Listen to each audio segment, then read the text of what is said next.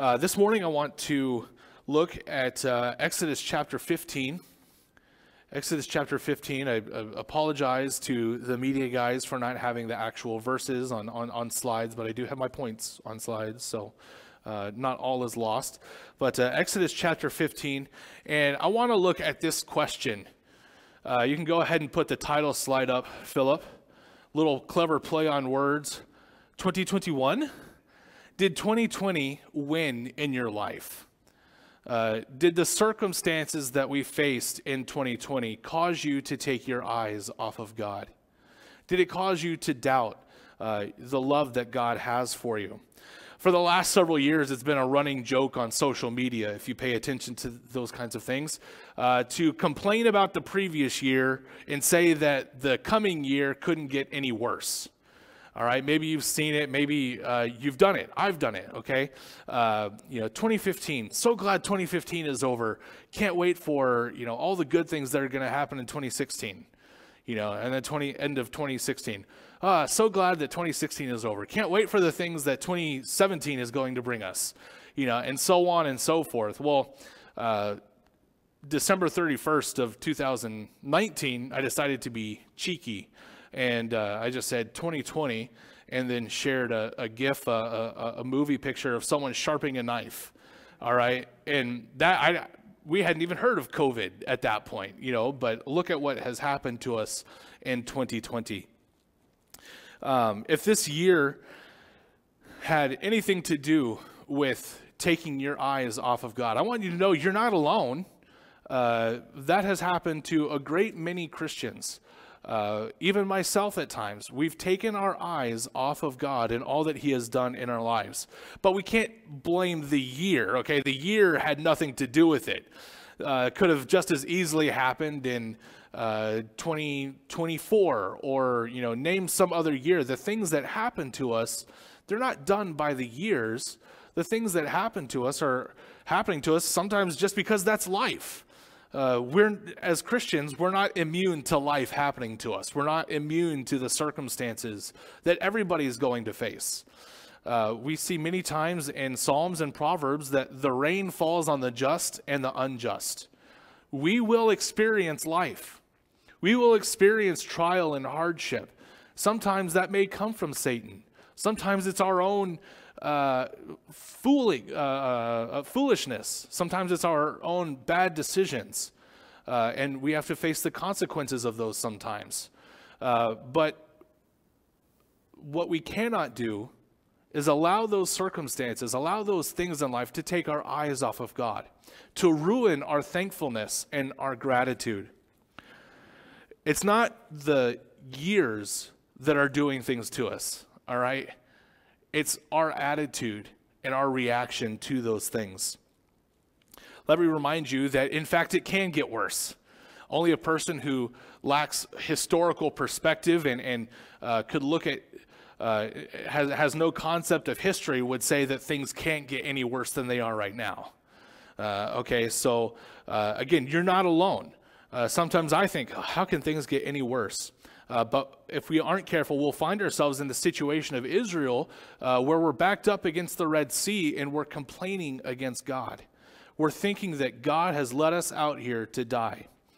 Uh, so, how do we avoid letting 2021 win in our lives? How do we prevent the things that will happen to us in this year and, and in every year that follows from uh, getting the better of us? How do we prevent that from happening?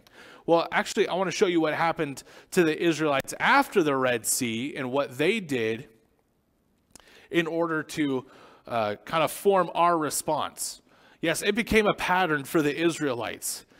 God would provide a, a, an amazing miracle. He would do something incredible uh, that no eye or mind could understand in the Israelites' life.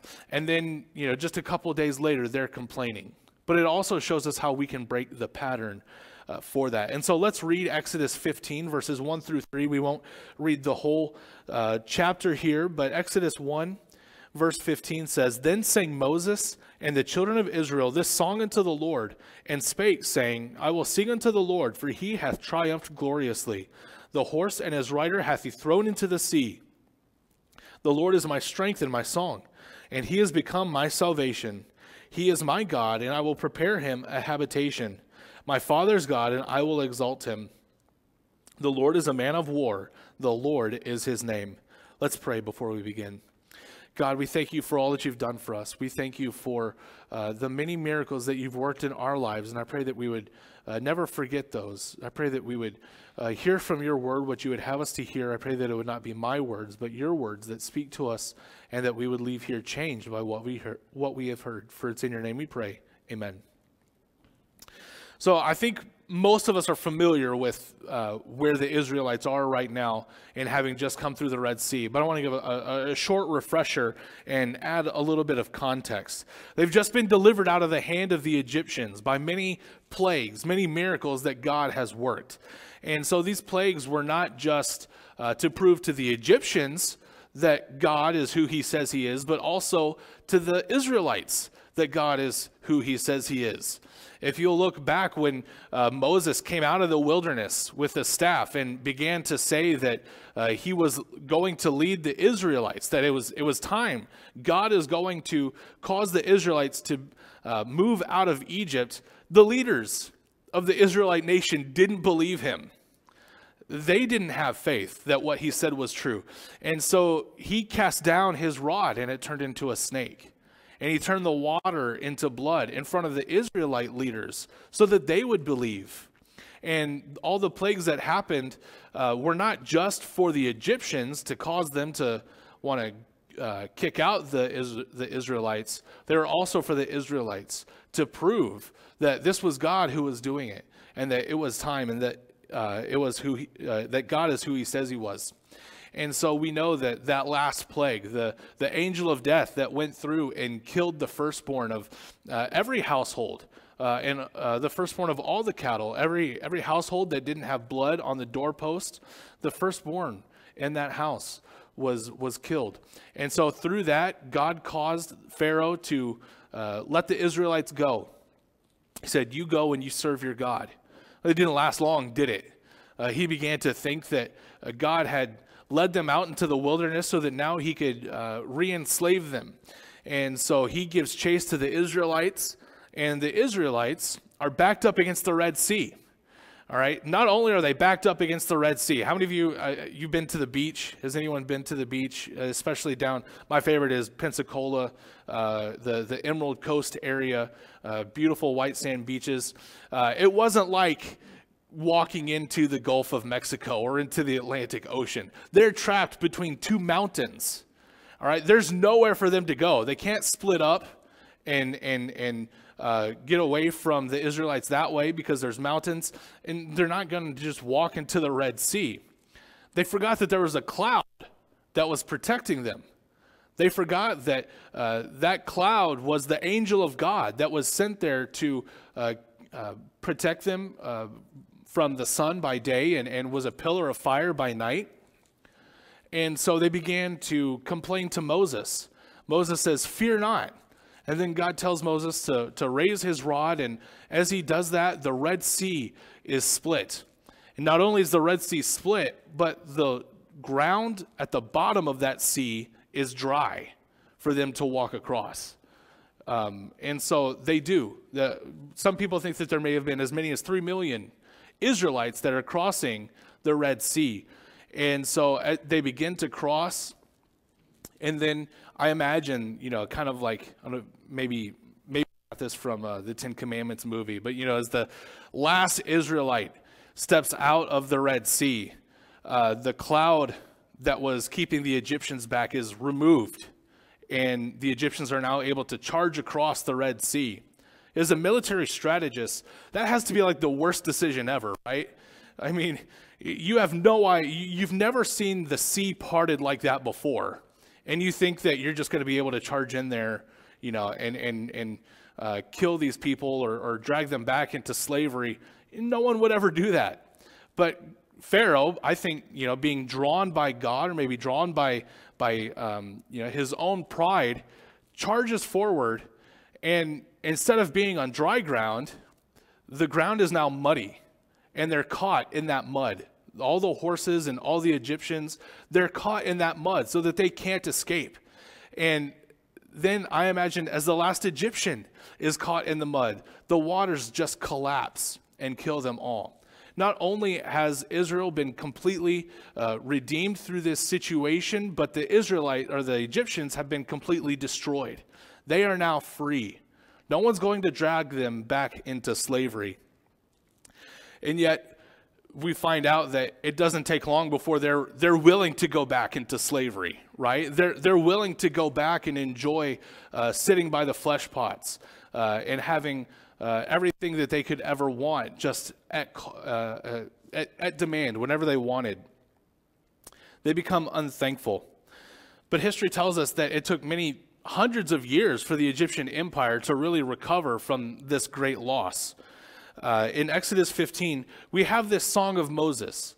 Uh, we have this song of praise, not just of Moses, but of the whole Israelite nation singing this praise, is what the Bible tells us. Uh, praising God for what He has done. And like I said, we won't take time to read all of the, all of uh, Exodus 15, but we will uh, look at several other verses.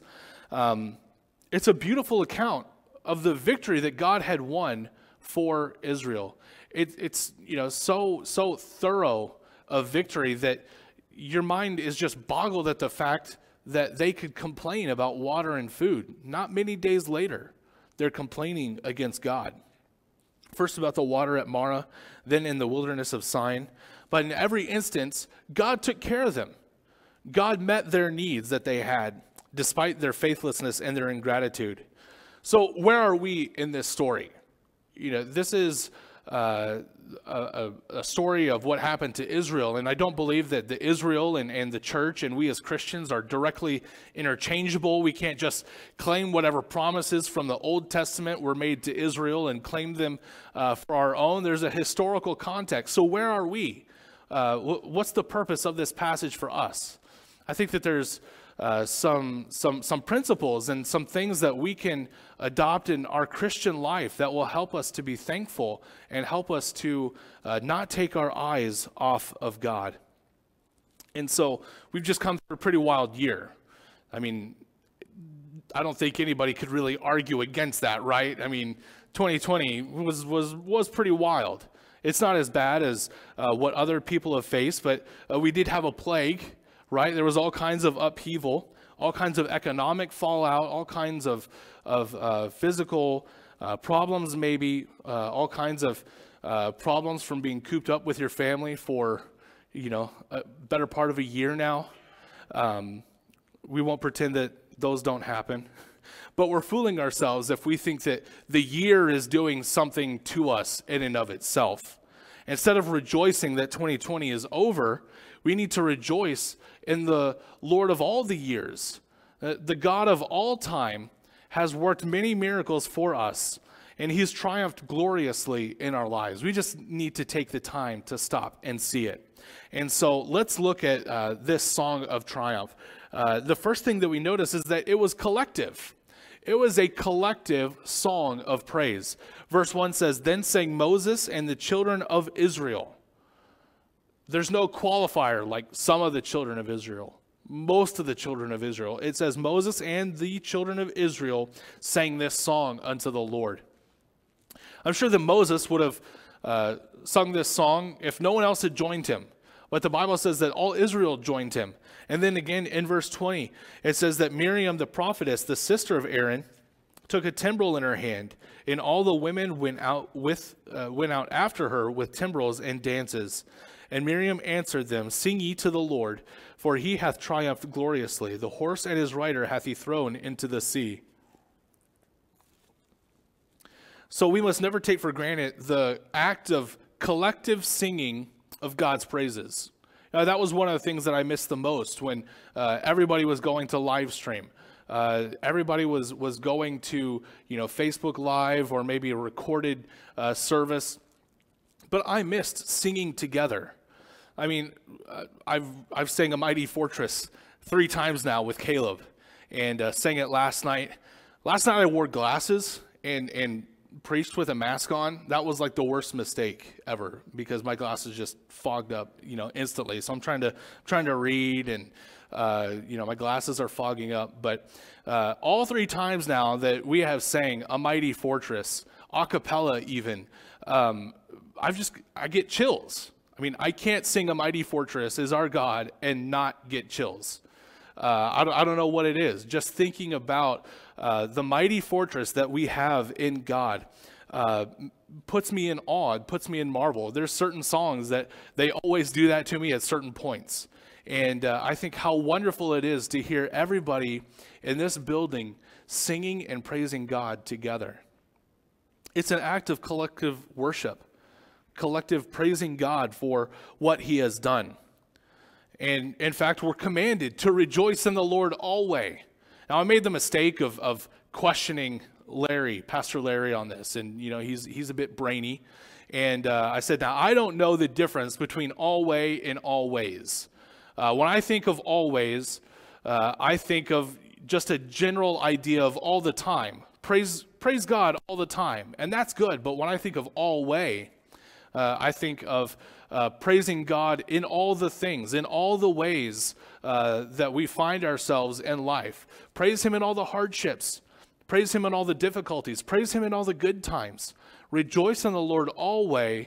And again, I say rejoice.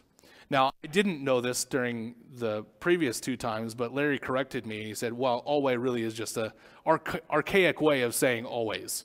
You know, so it kind of I get to spoil that for you now. But rejoice in the Lord always, all the time, through all the difficulty.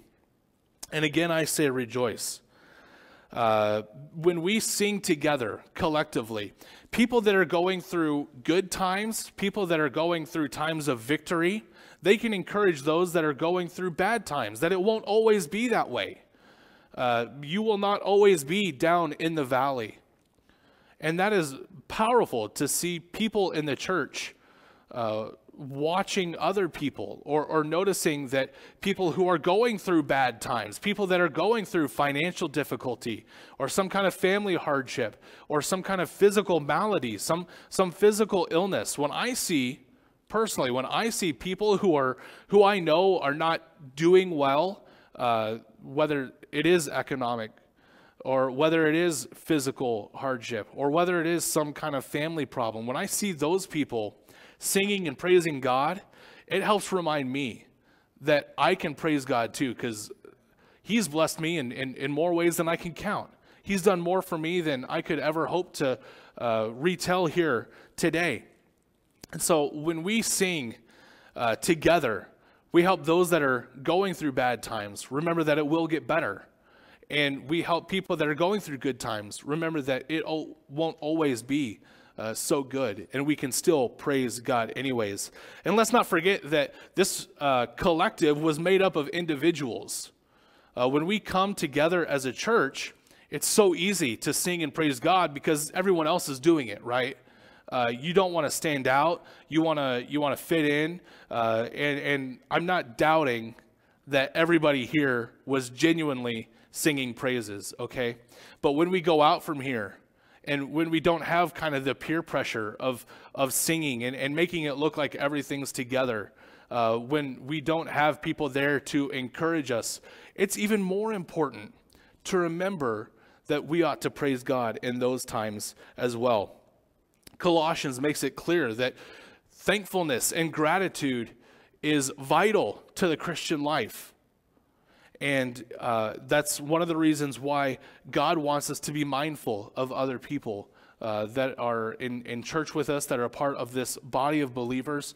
Uh, we need to keep each other in mind because it's not just an individual effort, it's a group effort. It was a collective of them singing praises to God. And so, not only was it a collective song of praise, it was a triumphant song of praise verse uh, the second part of verse 1 says i will sing unto the lord for he hath triumphed gloriously. The horse and his rider hath he thrown into the sea. And as you look at the account of what god did at the red sea and what god continued to do in the wilderness despite all their complaining despite all their murmuring and wishing that god had killed them uh, it was an absolute miracle what god did for the israelites there in the wilderness and, and throughout their history. It's an absolute miracle what God has done for us as Christians. Uh, that God would send his son to die on the cross for us so that we could know for sure that our sins are forgiven is an absolute miracle. I couldn't imagine giving up my son or my daughter for anybody.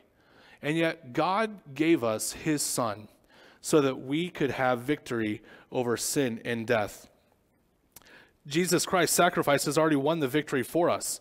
And just like the Israelites, uh, there was nothing to do except to obey.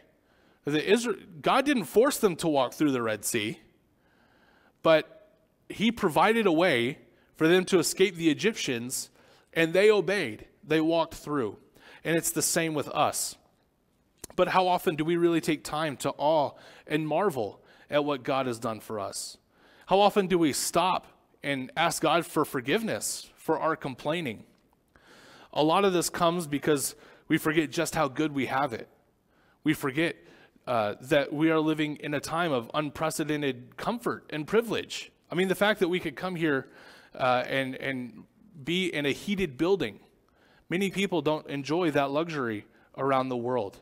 We aren't facing real persecution like those that are living in Ethiopia, Sudan, Nigeria, the Middle East, China, North Korea, in, uh, uh, Indonesia.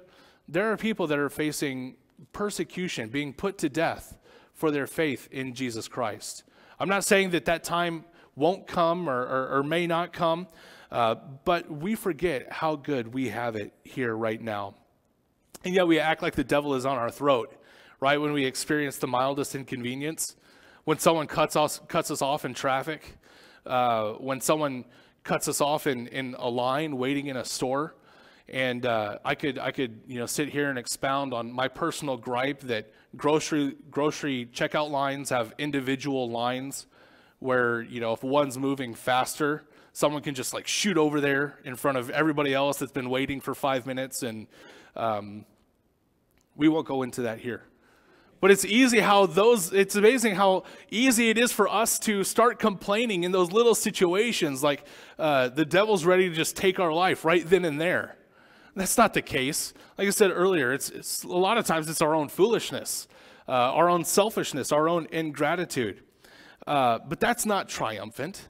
When I think of triumphant, I think of Matthew 16, 18, where Jesus is telling the disciples that the gates of hell will not prevail against the church.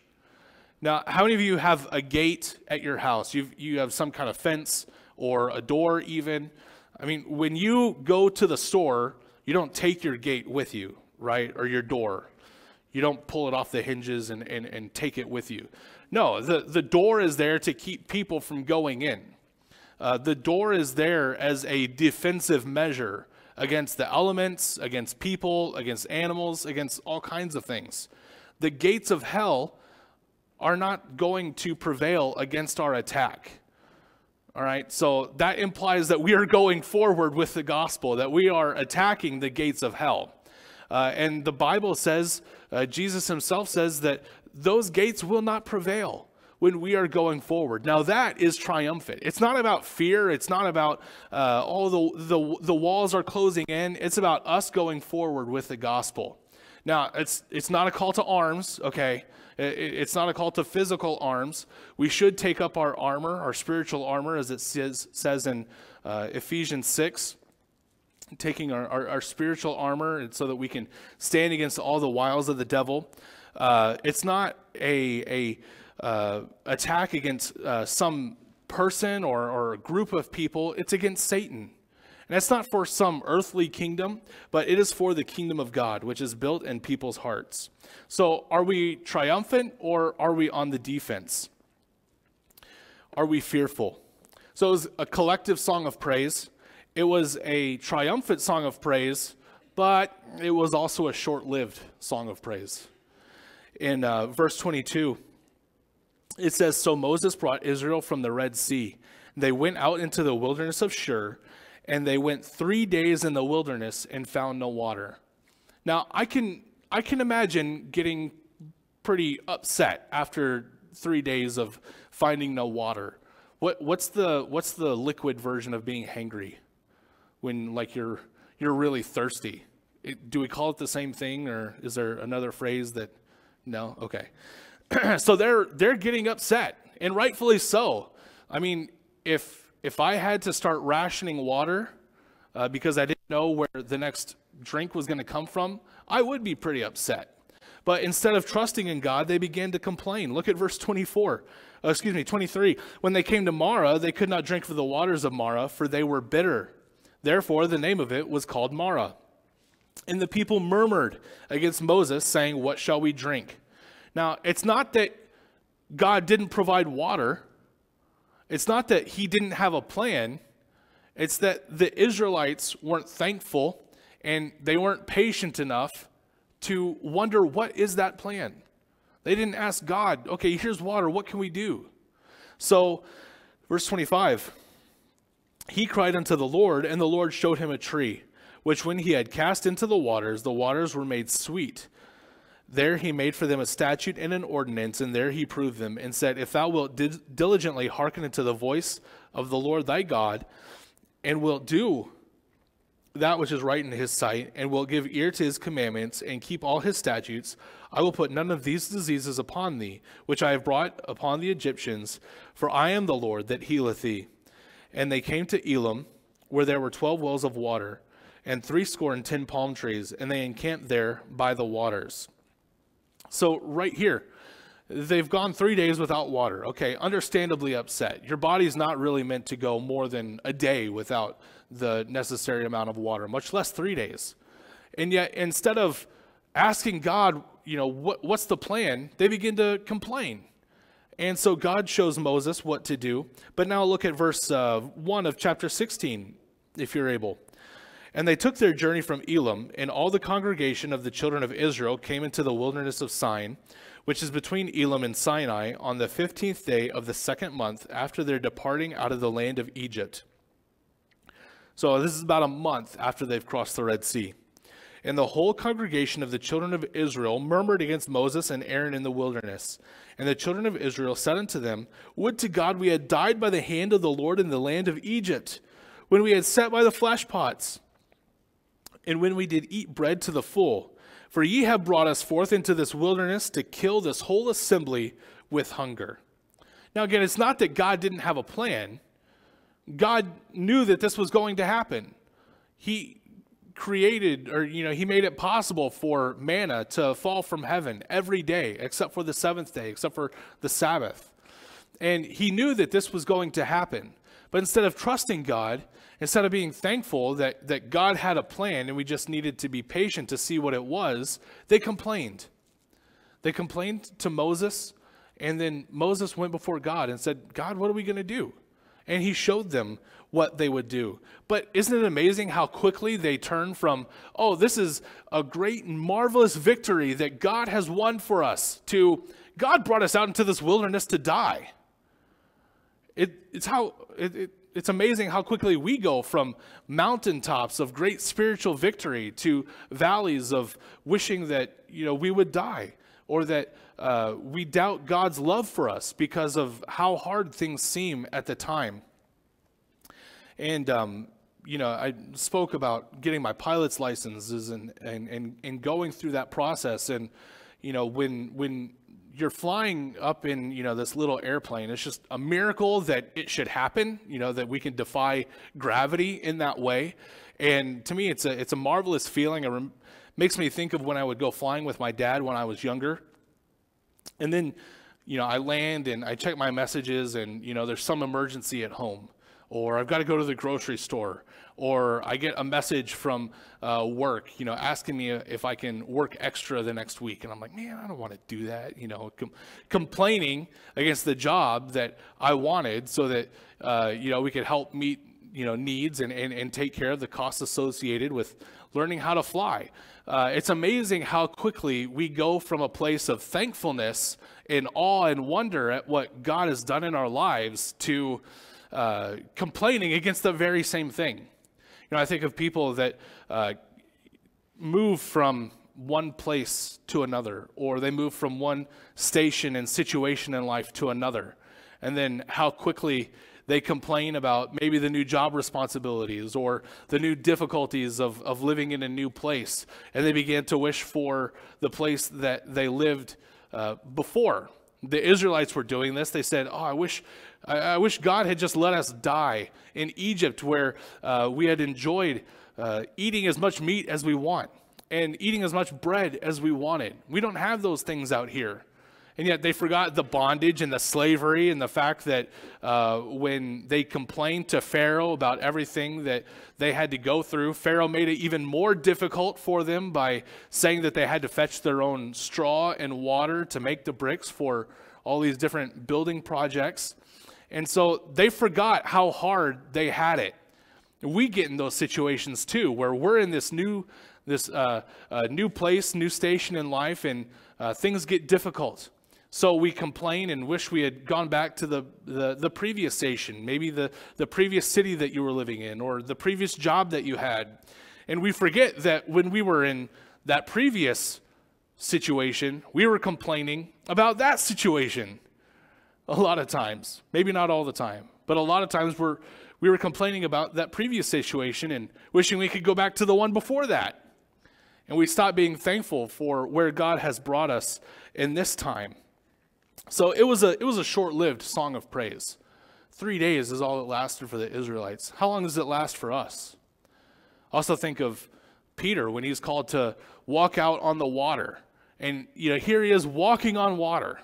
Uh, you know, I would think that that's about second to flying an airplane. Okay, my personal opinion, but Peter's walking on water. He's looking at Jesus Christ, who is walking on the water as well, and all of a sudden a wave comes and, and causes Peter to sink. Now, it wasn't the wave that caused him to sink. Uh, the wave had no power to cause him to sink. What had the power to cause him to sink was that he took his eyes off of Jesus. When we are experiencing those places of victory, uh, those times of, of just um, you know feeling like we're on top of the world, uh, the thing that causes us to sink is when we take our eyes off of Jesus Christ. Maybe you're like Peter and you've taken your eyes off of Jesus Christ and you've gone from this place of great victory and this place of great triumph uh, to feeling like you were going to drown. Uh, there's some sin in your life that uh, has caused you to take your eye off of Jesus. The great thing is that there's wonderful news. There's grace and mercy. And we have no further to look than uh, what happened to the Israelites. We saw how God provided water in spite of their complaining. God provided food, manna, every single day except for the Sabbath day for 40 years in spite of their complaining. In spite of thinking that God had brought them out into the wilderness to die, God provided that food for them. And so there's grace and mercy for each and every one of us. Peter, He's out on the water. He sees the wave. He begins to sink. And though Jesus did say to him, Oh, ye of little faith, he didn't beat him over the head. He didn't hold his head down under the water, you know, and make him, uh, you know, really, really feel bad for taking his eyes off of Jesus. Jesus stretches out his hand, pulls him up out of the water, and walks back to the boat with him.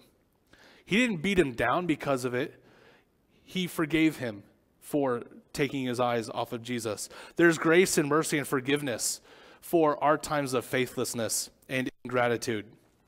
I don't want anyone to misunderstand me. This isn't about, uh, you know, adding a little bit of Jesus to your daily routine. This isn't uh, a, a self-help routine where you just do more and you try harder. Uh, it's all about Jesus. It's all about resting in Him. As I said before, uh, when God parted the Red Sea, all the Israelites had to do was obey. All they had to do was go across. Hebrews talks a lot about rest. Jesus himself said, Come unto me, all ye that are heavy laden, and I will give you rest. What is that rest? That rest, Hebrews talks about saying that those who have entered into God's rest have ceased from their own works. There is work that is done for God, and there's work that is done in God. And many of you know the difference. The work that is done for God doesn't get you any closer to God. It doesn't make him love you any more than he already loves you. It doesn't make you look better in God's eyes. But the work that is done in God through his Holy Spirit, that has everlasting fruit that we'll never see in this lifetime. And, and uh, we'll only see when we get to heaven. The rest that is done in God uh, is so much more powerful in the lives of other people than running about, making it look like you're busy, making it look like uh, if you weren't here, this place would fall apart. All right? Uh, the work that is done in God, uh, if it were to go away, people would notice. But a lot of times, the work that is done for God, trying to impress Him or trying to uh, uh impress other people, if that were to go away, no one would notice. Uh, and so, resting in God. Uh, I also think of Psalm 22, verse 3, where it says that He inhabits the praise of Israel. Look at, um, look at verse 2 of Exodus chapter 15. I'll read it for you. He says, The Lord is my strength and my song, and He has become my salvation. He is my God, and I will prepare him a habitation. How could Moses prepare him a habitation? Maybe he knew about the, the ark uh, and the tabernacle that would be built, but I don't think he's talking about that. I think he's talking about his praise is going to become a habitation for God to live in. And it just illustrates how important it is for us to have an attitude of thankfulness and praise to God because God inhabits that praise. But we do fail, don't we? There are times that we take our eyes off of God. There are times that we uh, sin, that, that uh, we feel like we've done the worst thing that we could ever do. And yet, even in those times, there's grace and mercy and forgiveness. 1 John 1 9 says, If we confess our sins, he is faithful and he is just to forgive us our sins and to cleanse us from all unrighteousness. You know, he's faithful. He will do it every time. Every time you ask him, to forgive you and to cleanse you, He will do it when you repent of your sin. And yet it also says that He is just. You know what that term just means, right? Uh, I used just in a sentence the other day, and um, Zeke was like, Daddy, what do you mean just? It's just this or it's just that. I'm like, well, you know, it, means it's only that or only this or, you know, just has so many different meanings that sometimes we forget that the primary use of just is how we get our word justice. It means that God is just, He is right, uh, He is legally correct in forgiving us every time we ask Him because of what Jesus Christ has done for us. So when we fail, when when we take our eyes off of God, when uh, we sin, when uh, we do the thing that we never thought we could, remember to confess that sin and to ask Him to cleanse you from all unrighteousness. So I want to ask you did you let 2020 win? Did you let something in your life, something that happened to you this past year, maybe even this past week, take your eyes off of God and become fearful, begin to sink in the water and in the waves? Have you lost your thankfulness? Or do you struggle with faithlessness and not believing that God could ever save you from these circumstances? Or maybe you'd say that you even struggle with knowing that you're saved. I, there may be some people here who don't even know what I'm talking about. What is salvation? What does it mean to uh, accept Jesus Christ as your Savior? I want you to know that there is hope in this life. Things are, are, are not without hope. Uh, there is great hope in God. And uh, it comes from the eternal God who made it possible for us to spend eternity with Him. Uh, and if you want to know more about uh, what that is or, or, how you can know for sure that you have a, your sins forgiven and a home in heaven, you can speak to myself or one of the pastors here. Um, Christian, you can have victory in your life. And really, it all comes from thankfulness. Eh, remembering what God has done for us in our lives. You can be thankful for what God has done for you in this day, in this week, and even in this year. It's been a tough year, no doubt, but God is faithful, and He will forgive us every time we take our eyes off of Him.